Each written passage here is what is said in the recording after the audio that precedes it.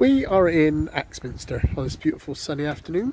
We've parked up in Tesco and we're going to go and find somewhere for a little bit of lunch. We might go to Costa.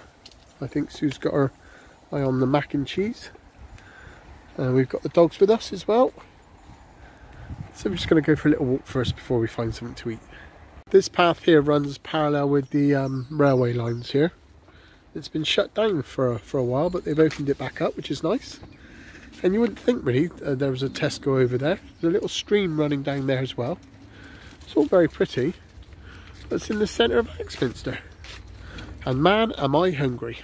This might be one of the reasons they shut down this little path. They put some new railings in over the bridge, which is nice. Yeah. Oh, definitely higher. Definitely higher railings, and that's the stream going past us.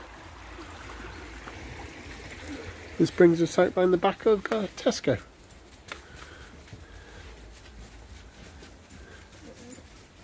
So, can you believe it? Costa was out of toasties and macaroni cheese. So we've come to another shop and ordered a soup and a toasty, I think, and a couple of pots of tea.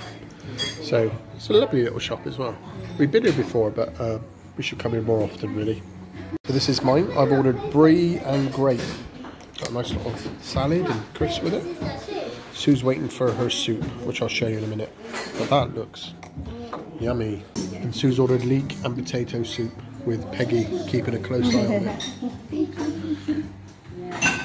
That, by the way, is fantastic. We had so much tea left, we thought we'd order a piece of cake. A Devon apple and honey cake. It was bigger. We've just ate most of it. But very nice. Highly recommended. We've had our food. Very nice too making our way back to the car. It's got really sunny now. Wouldn't think we're at the end of October, would you? Weather like this. Anyway, we'll enjoy it while it lasts. Well, you know I'm always saying how Peggy's always finding things. She's found a teddy now. she finds anything, that dog. Yeah, you crazy. And we're back at the car. About a mile and a half. Nice little walk this, this afternoon.